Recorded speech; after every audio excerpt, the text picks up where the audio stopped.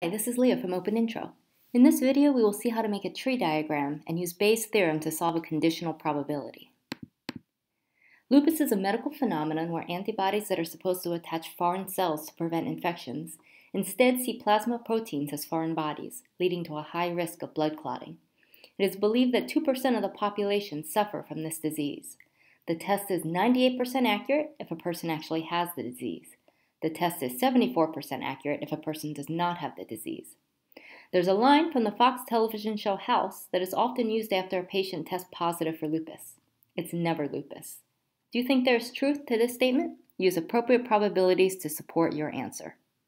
First, let's summarize the information given to us. 2% of the population have lupus. The test is 98% accurate if a person has the disease and 74% accurate if the person does not have the disease. So based on the question, which probability question do we want to answer? Which of these following probability statements will help us answer this question? We're interested in this. After a patient tests positive for lupus, so this is known information. This is the given. We want to know after a patient tests positive for lupus. What's the likelihood it's actually lupus? So we want this conditional probability right here. Given we know the test came back positive, what's the probability they actually have the disease? So in order to answer this question, a tree diagram will be very helpful. So to set up our tree diagram, the first thing the first branch will be whether the person has lupus or not. So we know that 2% of the population has lupus. So we'll have a yes no here, 2% yes, and 98% no. It's best to record these probabilities as decimals. Next, we, we our second branch is whether it's accurate. And so when it's yes has the disease, 98% accurate. So accurate would be yes. If they have lupus, then they should have a positive result for it to be accurate. So here we're going to have 98% positive, given that yes, they have the disease, 2% negative, given that yes, they have the disease. So these correspond to the inaccurate or incorrect results. When the person does not have the disease, it's 74% accurate, meaning we get a negative because they don't have the disease, and 26% of the time we'll get the incorrect or inaccurate result.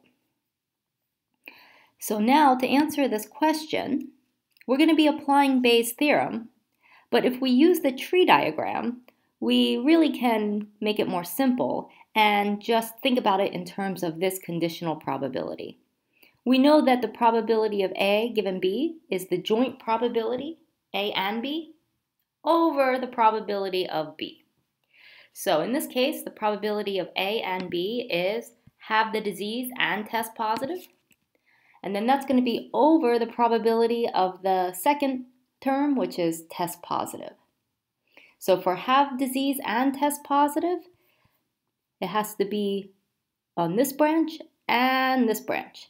So that's going to be the 0.02 times the 0.98. Have the disease and test positive. And then for the denominator, we're going to have test positive. But there's two ways to test positive. You could test positive this way, or you could test positive this way. So it's going to be yes and positive, or no and positive.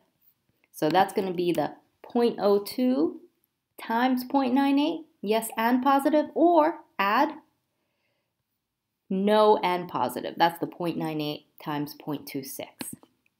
And if we evaluate this, we get 0.0714. So there's about a 7% chance the person has lupus given that they tested positive for lupus. That's surprising. How is there only a 7% chance that they have lupus if they got a positive test result? If you look at the diagram again, you can see that a lot of the positives are happening along here. Only 2% have lupus to begin with. So a lot of the positive results that will be seen will be because they were on this branch here. So they people start out with a 2% chance of having lupus. If you know that they tested positive for lupus, it increases the likelihood that the person has lupus from the 2% to the 7%, but that 7% chance is still quite small. So, agree. It's probably not lupus. That's it for this video. For more free resources, check us out at openintro.org.